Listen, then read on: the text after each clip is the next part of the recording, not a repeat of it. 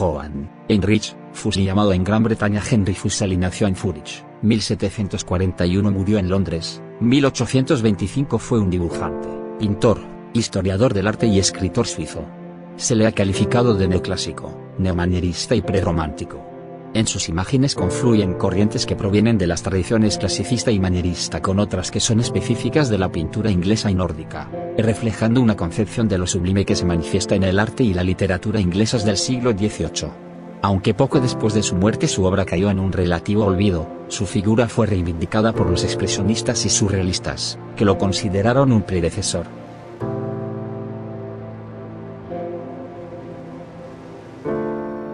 Juan se muda a Londres en 1763 para estudiar arte y literatura, entonces empieza a estudiar la pintura de Reynolds y otros ámbitos artísticos donde con sus ideas y su amor por la literatura antigua clásica, llevó sus obras con personajes de esta época con inspiración de las obras de John Milton y William Shakespeare y pintó momentos trágicos y oscuros de las mismas.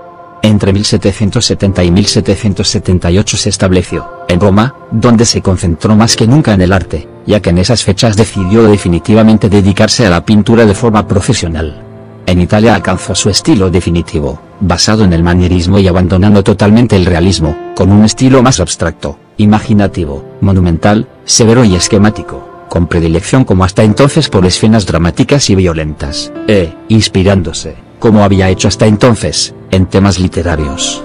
De vuelta a Inglaterra empezó a crear más obras con influencia literaria haciendo así ilustraciones para libros de Milton y Shakespeare, siendo expuestos en museos además también empezó a crear sus propias pinturas creadas por él mismo, pero sin perder su estilo que se debatió entre el sexo, el miedo y la violencia, dio vida a una serie de seres típicamente románticos, gigantes, brujas, fantasmas sus últimos años siguió la línea del erotismo y las exageraciones con cortesanas hasta el día de su muerte.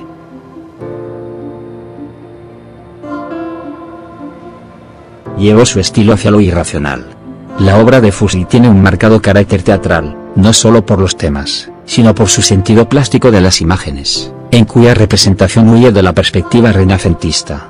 Las formas de sus figuras se apartan de las reglas de las lecciones de anatomía y dan lugar a nuevas criaturas fantásticas y sensuales.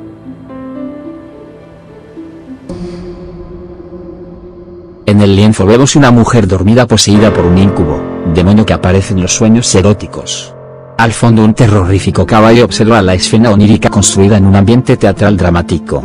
Ocultismo, terror, erotismo. Esto era lo que le interesaba a este visionario que recrea ese mundo de los sueños nocturno y teatral. Gracias por su atención.